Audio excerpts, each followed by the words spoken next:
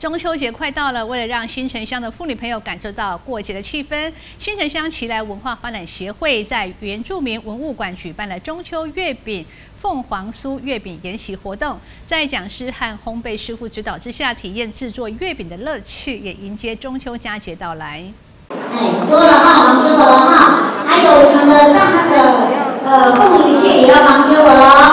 在新城下面代表李春梅细心的节奏之下，花莲县新城乡街文化发展协会办理中秋月饼、凤凰酥月饼演习活动。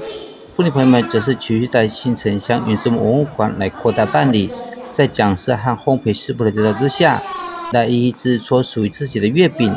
新城乡长何立台表示，对中华文化传统习俗可以说是相当重视，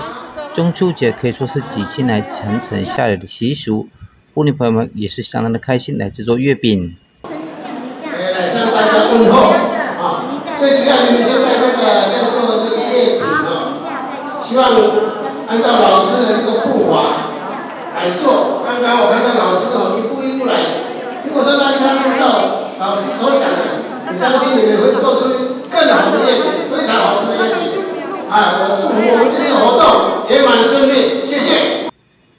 今天家长何立台表示，再过两个星期就是中秋节了，也是家人和朋友团聚的日子。对协会能够巧思的安排来办理月饼制作研习，让大家一起来体验学习，在烘焙师傅的指导之下，妇女朋友们则是按照步骤来完成自己的成果。在学习过程当中，大家可以说是相当的愉快，